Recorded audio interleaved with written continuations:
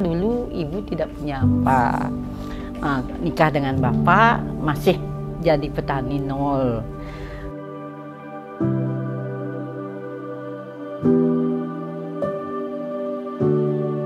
Nah, ibu punya cita-cita kapan sih anak kita bisa sukses, berjuang, baru kita melaksanakan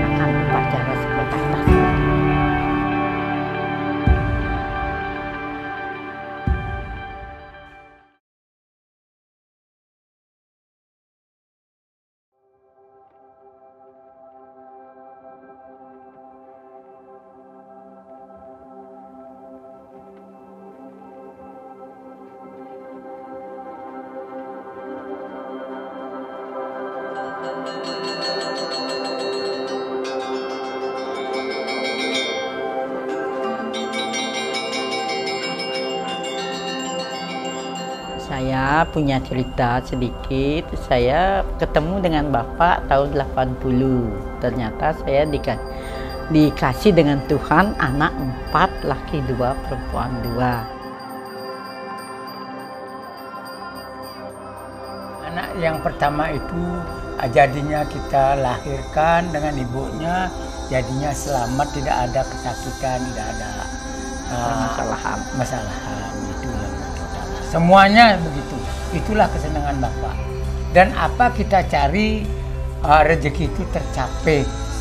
Nah, sampai sekarang dan sampai anak-anak semuanya semua tercapailah cita-citanya untuk mencari rezeki. Nah, ternyata sekarang anak-anak saya sudah besar seperti ini. Saya mau mengadakan upacara metatah.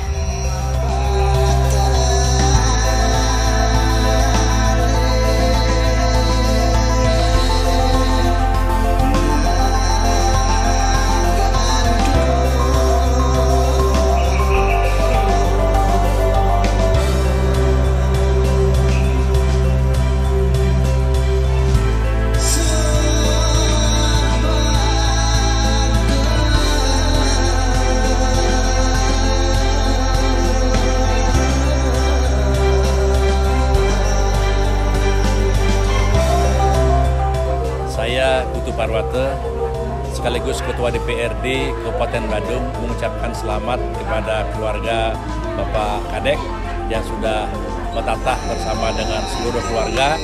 Saya ucapkan sukses selalu dan selalu dilindungi oleh Tuhan Yang Maha Esa. Terima kasih.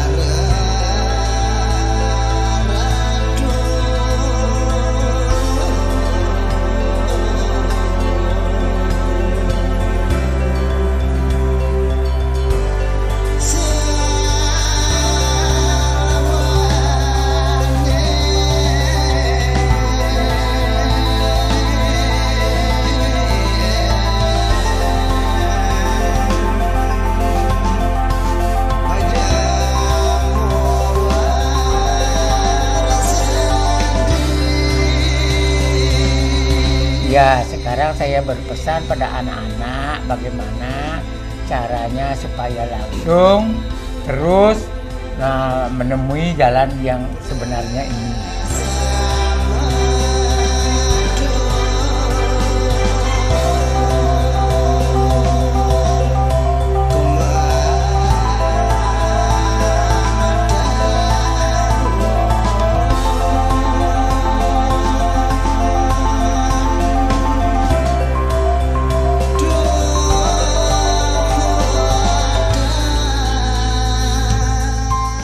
Kalau saya, saya punya anak empat. Saya kan sudah menemui jalan seperti ini. Bagaimana kalau dah terhadap suaminya supaya langgeng, rezeki supaya dekat. Itu yang saya doakan cucu supaya cepat dewasa.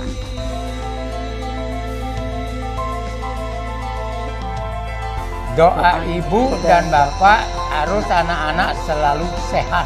dan semangat.